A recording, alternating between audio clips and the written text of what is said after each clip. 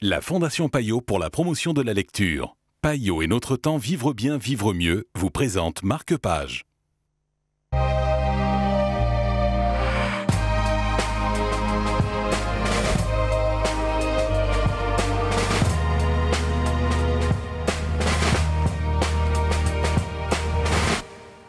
Bonjour et bienvenue dans Marque-Page. La vocation de Sophie Fontanelle, c'est le livre dont nous allons vous parler aujourd'hui en compagnie de Stéphanie Rock de Payot Libraire. Bonjour Stéphanie. Bonjour Zelda.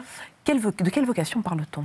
Eh bien, de celle de Sophie Fontanelle elle-même, puisque euh, elle est journaliste de mode. Euh, enfin, elle a été longtemps journaliste de mode au magazine Elle.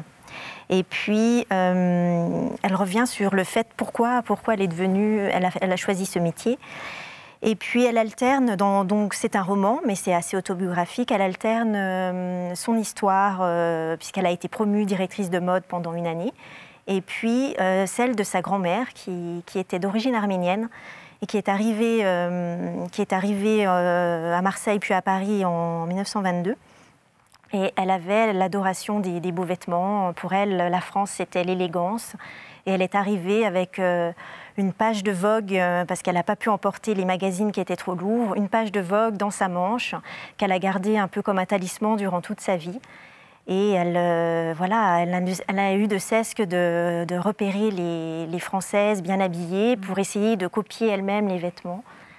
Une vocation donc, qui a été transmise euh, à sa petite fille. donc sa, petite fille était très fière de, voilà, de finalement d'accomplir peut-être le rêve de, de sa grand-mère qui, qui est restée euh, une femme euh, qui a, qui a fait de la couture, mais qui n'a pas, euh, voilà, qui n'a pas pu sortir du foyer. Oui, voilà, mais elle voulait que sa fille et puis sa petite fille aient, une, indépendance, une indépendance professionnelle. Et le fait d'être dans la mode, c'était vraiment un rêve merveilleux pour, euh, pour toute la famille.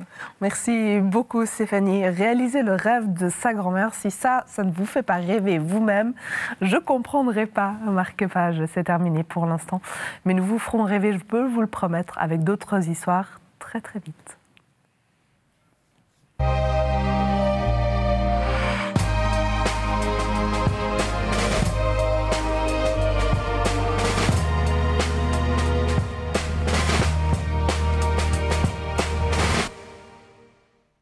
La Fondation Payot pour la promotion de la lecture, Payot et Notre temps Vivre bien, vivre mieux vous ont présenté Marque Page.